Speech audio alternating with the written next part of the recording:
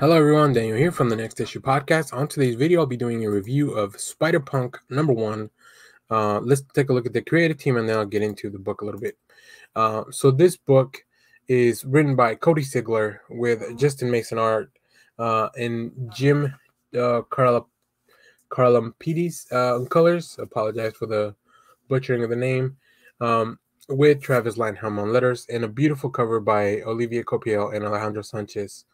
Um, so if you're not familiar, back in um, I don't know the 20 2012 maybe 2013 whenever the, the first uh, Spider Verse event happened, we were introduced to this version of Spider Man, Spider Punk, uh, Hobie Brown from a different dimension. Uh, so now we he finally gets his own series, and it's really cool to see um, the Anarchic Spider Punk back on the pages. Uh, so the synopsis here: set to protect uh, Earth 138 with his axe in hand, and that's his guitar, uh, and his chaotic band of punk and rock heroes. Him um, backing him up. Uh, Norman Osborn is dead, but will the chaos he's created be too much for Spider Punk and gang to handle? Feel the vibes as Cody Ziglar and Justin Mason bring you the jams when when banned in DC. That's the name of the story. Begins here.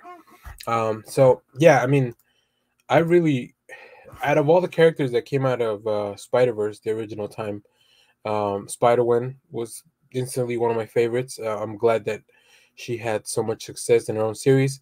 I'm not too. I don't like the the name change to Spider Ghost. I understand why they had to give her a new name if she's going to be more in the in the Marvel universe, but whatever. That regardless.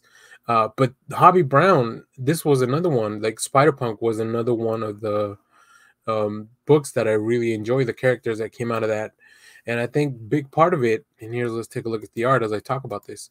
A big part of it is just the aesthetic and kind of like the.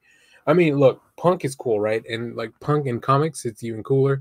I think um, Mason does a fantastic job capturing that feel we have this uh, version of Kraven the Hunter. Uh, but then when we look at our heroes, here comes uh, Spider Punk swinging in with Captain Anarchy. Um, so this world, it's all about the punk, all about the anarchy, all about the rebellion. Uh, this is a very interesting world where I think you can tell really fun stories. Uh, but the art is what really sells me on this book. I love the character designs, and we'll get to see some more characters, but even just the fights, um, bright colors, big pages, just really really cool. Like uh, it's not exactly like manga style, but it, there's a lot of influence I think in there for me, just in the way the characters move, um, and and just the, like I don't know, like some of the panels where you just kind of zoom into a character's face, uh, really really fun stuff. But yeah, I mean, just even even the pages that there's not even a lot of action going on um, you get to see some really cool poses, and like I mentioned, the character designs are so cool. Um, I don't know. This is just right up my alley with like, just give me some fun stuff that I can look at and have a good time.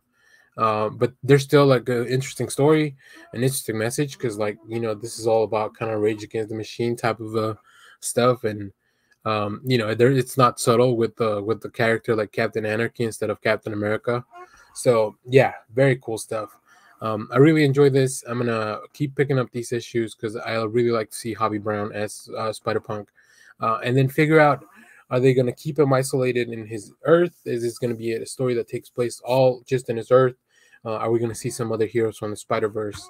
Um, so yeah, very interesting stuff. Uh, I'm gonna leave you with a look at some of the variant covers, which man, it's gonna be tough picking out which one to pick up, if not all three uh, that I have here.